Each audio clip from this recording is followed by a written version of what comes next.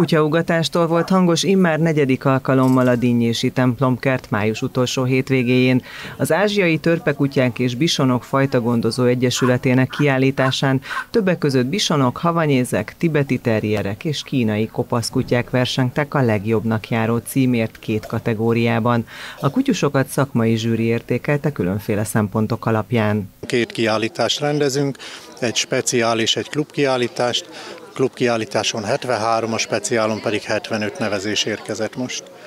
Hát ugye a bírók a fajta standard alapján ö, minősítik a kutyákat, és ezekből válasszák ki a legszebbeket. Az egyik zsűritag elmondta, minden fajtának megvannak a tipikus vonásai, elsősorban ezeket veszik figyelembe az értékelésnél. Nagyon jó eddig a színvonal, nagyon magasnak látom a színvonalat, ami a, az itt megjelent kutyákat illeti.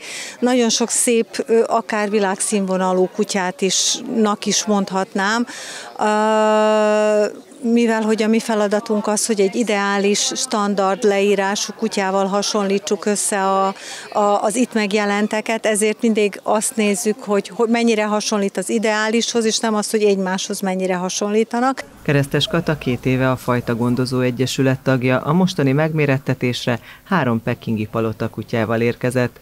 Mint mondja, egy-egy ilyen alkalom kiváló lehetőség arra, hogy a gazda és a kutyusa közötti kapcsolat tovább erősödjön. Én azt veszem észre itt az összes résztvevőnél, ez egy kisebb klub, hogy tulajdonképpen mindenki a saját ö, lelkületének megfelelő fajtát választ, és ez a felvezető por, ez tulajdonképpen egy, egy láthatatlan összekötő kapocs a, kutyi, a kutyus és a gazdi között. Úgyhogy én azt gondolom, hogy itt, amit láttok, az abszolút a gazdi és a kutyus közötti lelki kapcsolatnak a megnyilvánulása. A fiatal lány hozzátette, egy-egy szépségversenyre való felkészítés több órát is igénybe vehet, hisz a cél az, hogy a legjobbat hozza ki mindenki a házi kedvencéből.